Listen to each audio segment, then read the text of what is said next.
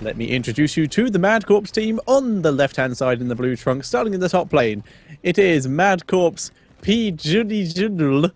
That's a name and a half. Uh, in the mid lane, we uh, he's on the oof by the way. In the mid lane, we have Insomnia on the Tassadar with the Master Skin. We have Jellic will be on the Kerrigan. We have the Prog, or Alex the Prog, will be on the Arthas, and Kit Kat, whose name is Delicious, will be on the Valla. And on the right side, the team in the red trunks. In the top lane, we have Des uh, playing Muradin with that uh, Candy Cane Muradin skin. And in the mid lane, Happy Zerg is on top of Stitches. And bot lane, pretty stacked with Hydra on, on Sergeant Hammer, Turek playing Brightwing, and QQQ, aka Dimaga, playing Nazeebo. Yep, and we can see Hydra already starting with mining up this bush massively. And oh, getting a lot of mines on top of Arthas. Taking a large chunk of his health. Tur uh, Jellic tried to engage on Turek there, but no damage was dealt. Hydra did take quite a hard hit, but as long as he stays near Brightwing, that will all be healed back up. And because the healer for uh, Mad is in the top lane, is not going to be able to help. Oh, good root here on Hydra. There comes the pull, and they get the final, uh, first blood, rather. Uh, first blood does go to Mad Corps. Yep, very nice pick there by them. And we did see Insomnia ditch his lane for a bit, but he missed out on one minion worth of XP. Very much a worthwhile roam. Yeah, for sure. Nazeebo and Brightwing still sticking in this bottom lane. I'm kind of surprised that they're not uh, inching way further, but ooh, that that's the exact danger here. Another root, and there comes the final blow out of Jellic, but she's quite low as well. Uh, Let's get away though. was actually from Alex. He used Death. Oh, okay. Ah, Deathcoil was the final kill. Looked like it was the um, the strike from below from Kerrigan. In indeed. So right but now, now, we have that triple stack again in the bot lane, and uh, once Hydra is, is in there, um, I think they can advance a little bit further, especially if it's only KitKat down here. Yeah, KitKat has been left completely alone. We did see Arthas kind of roam up to the bot to the mid lane, got nothing, and is now roaming up to the top lane to try and help Je uh, Junal up here to take this shrine. And Dez, now in a pretty tough position, has already used his jump to engage here. And there's the root. Dez still jump. It's just come back up, and that was one of the oh, things. Oh, nice stun! Nice safety stun. To keep himself alive, and like you said, incredible stun to keep himself alive. Bot Shrine has, however, gone over to Yard Team. Yep, uh, they have pretty solid control right now. Again, the mines are stacked here, but Hydra, he's seen what happens uh, once Arthas gets back in there, so they're gonna stay and play a little bit safer, stay in the back, and maybe try to get a little bit of damage onto KitKat, but Alex the Prog comes back in there, misses his root, and Hydra just oh, boosts out of there. But look at the damage she's taken. The damage is amazing, but I'm more impressed by just the the pathing that Hydra yeah. took to get Incredible out there. control. Amazing dodges. If that was an action movie, it would have been James Bond, him zigzagging through traffic and enemy gunmen to try and get it. But the first Dragon Knight is going to go over to Mad Corps as they did take control of that bottom uh, shrine with that. And Insomnia going to be taking it first and going to rotate out to the mid lane. Dimaga has been caught out here. He gets pulled in and down he goes. Oh, nice primal grasp. Jellic definitely on top of things tonight uh, with his stuns, or um, rather uh, roots there. And Hydra uh, trying to save this bottom lane. Looks like there's rotation back into mid lane. Insomnia just jumping on top of these towers, and they're already out of ammo. So he's gonna do quite a bit of damage here. Happy Zerg and Turk trying to stop him. But the tower does go down. Most of his health down here. He has 10 seconds left in this thing. And who is it inside there? Is Insomnia. So I can't remember which one Inso which one Insomnia is. Who's missing on the map? It is Tassadar in here. And out yeah. he comes. So he's pretty safe when he comes out of this. But he still decided instead to retreat back to his minion wave just for that extra layer of safety. And talking about safety, uh, Alex the Prog and Jellic going for the siege camp. To put on a little bit of aggression here on the bot lane and uh, play a little bit safer down here since we do have that triple stack again, uh, Hydra, Turok and QQQ. But they're not really pushing as hard as I thought they could. Um, because of the danger that uh, Arthas definitely puts out down here. Yep, Arthas just like you said, he just his mere presence, due to the slow, due to the damage that he deals, he's actually one of the best uh, warriors when it comes to engaging and just dealing massive damage in a fight. We'll see here onto the warrior have to do a decent amount of damage. That was without even using his envenom. Yep. Um, by the way, envenom taken by Kerrigan, Arthas. Yeah, Kerrigan and Arthas. Arthas. Um, Arthas. right, Brightwing, of course, with bribe, and no other bribes been taken. Let's have a look at the Muradin build here. It's perfect storm. Ripple hammer. Um, then uh, sledgehammer and piercing bolt. Yep, very standard build nowadays for Muradin. It Just get the if you hit heroes, you get the damage up. If you hit buildings, you're gonna wreck them. By the end of games, you're probably gonna be doing if you're if you get it up to a decent amount, over 1,000 damage with each Q to any building you hit. And having a look at towers currently, with 3.3k health at this point in the game, it's going to go up with... I think it goes up uh, as the game progresses, doesn't it? Uh, tower health? Um, Does it, do, do we have scale? to ask Ali if he's yeah. watching. I, I, don't know. I'll keep an eye on it. Like, hang on, what is it now? 3.35, uh, 3,350. I will keep an eye on that, and I'll check that later in the game. See if that goes up oh, over time. Oh, Jellic missing his root. Oh, a nice zombie wall here, but they don't really dish out the damage right now. Uh, with only Turek uh, in there to see, uh, heal, heal them back up. Yep, they really need stitches if they want to engage this. Yeah, seeing as Brightwing did not take Envenom, not able to even deal uh, some more damage there. In the top lane, though, Dez just going to keep being harassed by KitKat here. Nice dodge from the Q, though and KitKat's going to be able to take control of this area. Brightwing just keeping the bot lane though, and they're going to try and use this as their opportunity to engage. There's the Ravenous Spirit, very close range there. The Ultramis coming out from Jellic. What? Ultramis going onto Turek here, doing a lot of damage. We're seeing Junel having to pull back here. Insomnia phase shifting out of there. Turek does get taken down there. The Ultralisk, I've completely lost that. I have no idea where that's gone. I'm pretty sure it died. Jellic though. Oh, Jellic is in trouble now. Dragon Knight. When the Dragon Knight, however, is still going to go over to Mad. Oh, nice hook here on Juno. Bot lane enough. But QQQ and Hydra didn't have the mana to actually uh, dish out uh, way more damage, and they were also on their on the cooldowns for most of their skills. So no nice follow-up with a nice zombie wall or something. And they also need to stop uh, this Dragon Knight that's rotating into mid. But Alex the Prog is trying to get out there. Yep, Napalm gonna be able to do some damage as he runs over it, but that was that was nice for us. And seeing as all five members were there, yeah, they're just forcing them out of position. They're forcing them from the bottom lane back to the mid lane and back again. Now the Dragon uh, Dragon Knight is back, getting back in there, and yep, he's making his move. That's another fire onslaught, and looks like the tower might burn down this time. Nope, not quite he yet. 10 seconds left of this dragon, so he'll use the last yep. fire to take that down. And we'll use the rest of time to get out of there and play it safe. In the meantime, Mad Corps just doing as much damage in this bottom lane as they can while they can. Yeah, I like how um, Tur, QQQ, and um, Hydra were able to keep this uh, bottom fort still alive. That's not, not no small feat here, but now they have to fight the entire team, and they need a good position to make it happen. Two levels down, and Des popped his ultimate. Hydra and QQQ there. QQQ pulled back, didn't go back very far because he knows most of the stuns are already down. But Kerrigan able to use her, ability, her abilities again and take it down thanks to the rewind. Happy though took a lot, lot of damage in this fight. QQQ still alive! Ooh. There's the blink heal from Brightwing. Able to save him in that last moment there. And that was actually very nice for both teams there. One down each. And we're actually going to see Yard Team save this fort again. Wow, what a clutch hold. I mean, it's it's incredibly close, and I'm I have no doubts whatsoever that they're gonna get in there and just get the final blow on that fort, but still a good hold and uh, not losing. Did they lose anyone in that fight? I don't think uh, they did. They did. They lost. Did uh, they lost Hammer, but she's alive again. Still a really good fight uh, for both teams. And that fort is still alive, so I guess that Mad Corps is gonna dive in there pretty soon. And maybe, maybe our team can make something happen since they know it's coming. But first, we have the Siege Giants in the bot lane, and also Siege Giants being taken here uh, by Insomnia and Jujunal. Yeah, we're seeing the teams heading back, just grabbing any mercenaries that are up at the moment, and spending some time just getting a bit of lane XP. Right now, there is one mercenary camp left on the map, and both teams won it. Let's see who can get in position first. I gotta give it to um, Hydra and QQQ. They should be able to contest this, no worries at all.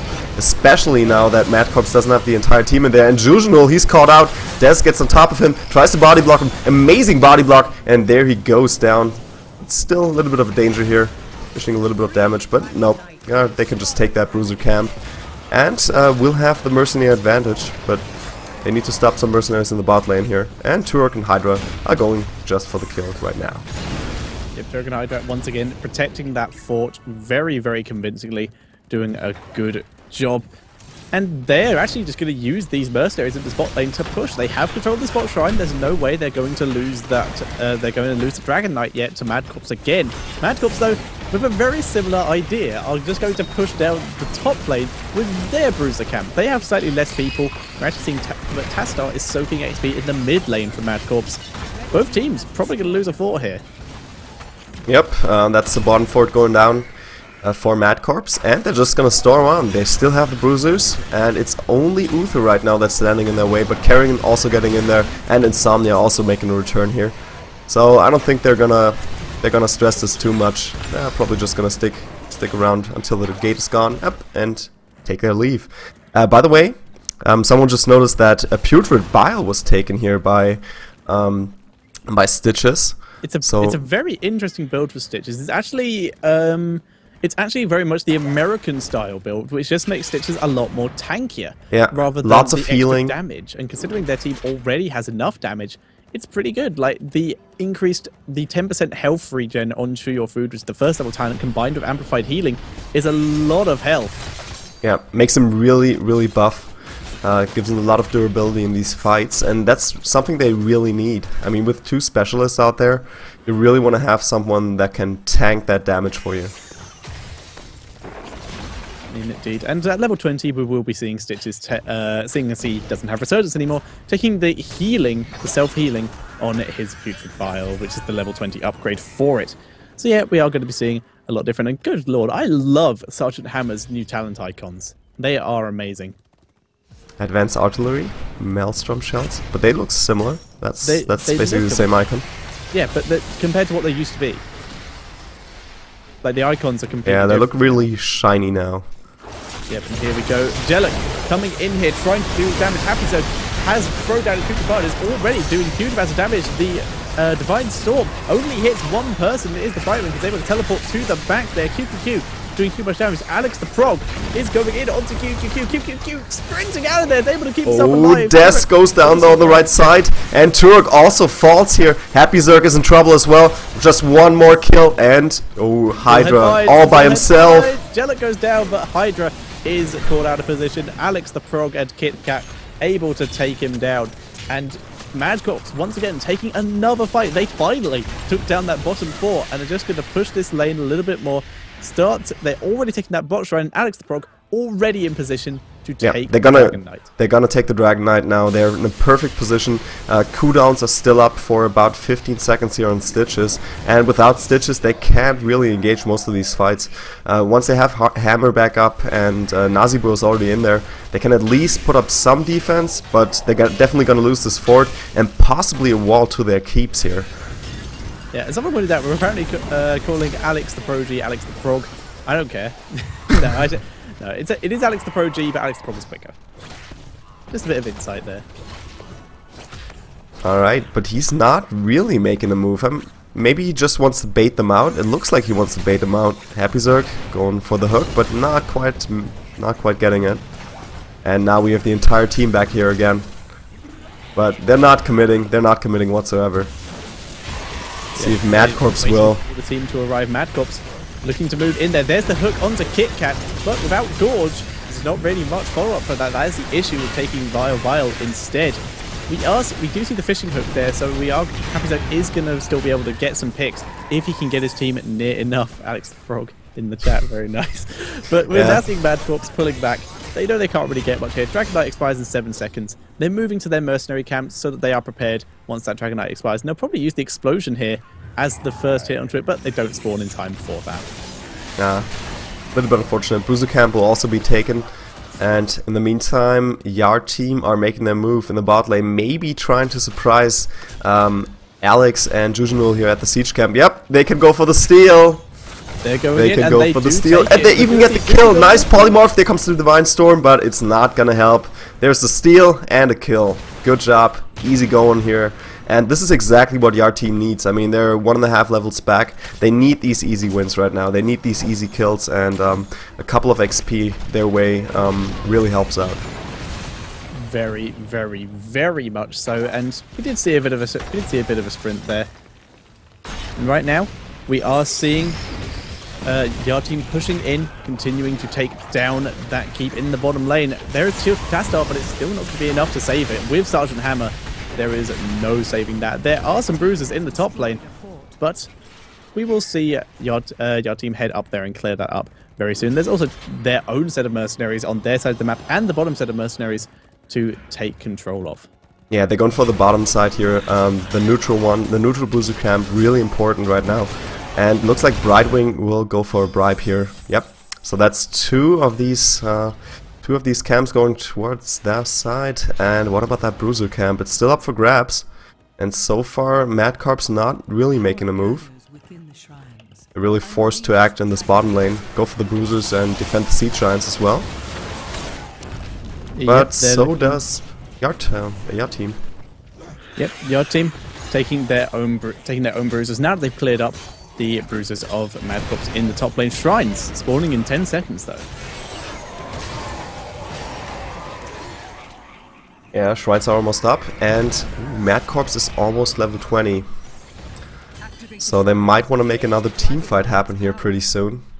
Once they get that additional XP in. And really work with their um, storm talents. Yep, Storm Talents will be coming up very, very soon for Mad Corps. That's and with the shrines now up, this is the time they will be looking to try and engage and maybe take another Dragon Knight. And with that, they will probably attempt to end the game.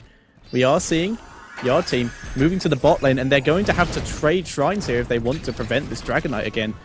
And we can see, we are seeing Mad Corp. They're moving as a team. They really want to force this team fight now. Level 20s are hit. The upgraded Ultralisk has been excuse me, has been taken by Kerrigan, Bolts of Storm by Valla, Twilight uh, Archon by Tassadar, Divine Hurricane, obviously, by Uther. And uh, I'm curious what the Arthas will take. We saw the chain attacks on the last Arthas we saw, but I'm not too sure. We'll probably see the ult upgrade this time. Yep, there is the ult upgrade. Yeah. Legion of Northend. Northrend, sorry. Yep, and almost half a level to go for Yard team, so they have still have a little bit of XP to gain before they, they get their level 20. And probably won't really engage in a team fight before then, but instead just trying to dodge, uh, yeah, just trying to dodge Mad Corps, trying to take these shrines and prevent any team fighting from going on. And there's the retreat back into main base. Sergeant Hammer trying to make a stand here, but oh, not by yourself. Yep, exactly. Boost out of Back there. Get behind that gate, which is flimsy enough to breathe on and have it die. That will protect you. There comes the hook from Stitches, but it does not land on anyone. Mad Corps playing this a bit too far back, and they're finally moving. They're still not moving to the top lane. They still are not going to be able to take the Dragon Knight yet. They're just grabbing all the mercenaries. Yep, just going for the mercenaries. And I think the second camp still has a lot of cooldown to go, so I think they will finally go for that top shrine if they can, or set up a trap if at all possible. Jellic already working down here. Nope, the siege camp. That's the next move. The issue with the doing this is they're just giving um, your, your team more time to get to level 20. Level 20 will, will be hit soon. Hook came in from Happy Soak there. Nice blink heal from Turek to stop himself getting Oh. Jellic is in trouble. There comes the root, the shield, and- and, he still goes down. Healing totem coming down from Tassadar. Dez is way out of position here. He will get taken down. There's the Storm Shield. And QQQ. I don't think he's used his ult yet. I'm not sure. Let me click on him and find out. He hasn't used his ult yet. Saving it. Kit Kat goes down. There's the ad- there's the Ravenous Spirit. Finally coming out, going on to Insomnia. Insomnia shielding himself. Does he have his phase shift up? No, he well, now he does, but he uses it to sit to save himself. And got that out of range first, so- team. Yeah, amazing fight for Yard team. Definitely making a really good comeback. Even getting that siege camp now. And uh, with two heroes down, they could at least uh, try to take out the top fort. But instead, um, of course, also a solid option to just re-grab these shrines and uh, go for a Dragon Knight camp here. Or camp that Dragon Knight. Oh, but Arthas retaking the top shrine. And it's only Happy Zerg up here. Versus Uther and Arthas, not really the best idea. But QQQ also moving moving in there. They're still not willing to take the risk. They know how many people are alive, and because they don't have the vision, not choosing to take it, and they don't get their redemption deny it. Turret Wow. take, I believe, the first Dragon Knight of the game for Yep. Yard Team here, and going through the mid lane here, where pretty much everything is completely full health. But with the help of Sergeant Hammer and Nazeebo, that's going to change very quickly. Yeah, they're definitely gonna take up this fort. Um, at least as long as not not all of their heroes are playing here. Uh, Mad Corps really needs everyone back in here. Kerrigan is joining, and so is Valla. But Turk making a good job. Ooh, nice Divine Hurricane getting Happy Zerg. And ooh, he's going down. Wow, even with that, all that su sustainability doesn't really help. And Muradin also falls here. And QQQ in trouble. Torless is on his back. Alex is as well. And there comes the Storm to finish him off. Yep, that slow coming in from Arthas was so key there. And we did see Nunsbo try to sprint out, but he was accidentally body blocked by Hydra here, was not able to do the damage. I'm seeing a visual picture of Brightwing's Blink heal in the main base of uh, Yard Team there. That's weird. But right now, Hydra is the only surviving member of Yard Team. He's going to have to try and save the game here. In comes Brightwing, though, just respawning. Gonna try and get some heals down. There's the polymorph onto Jellic to prevent the burst damage coming onto Hydra, but everyone is on the core. They're just right focusing the core. They're just focusing the core. Jellic goes down. goes down. Turk and Hydra still in there. Um, just 20 seconds to go here for most of these heroes to make a return, but that's way too much damage on the core. And it looks like Mad Corps can make it happen. Wow. Not a bad game for them, but I think you were right. Um, the moment where they just went for all the camps instead of going for the for the Dragon Knight, I gotta agree that that was a pretty clutch uh, clutch moment because Yard team could have made a comeback happen. I could have made it happen, and uh, they almost did.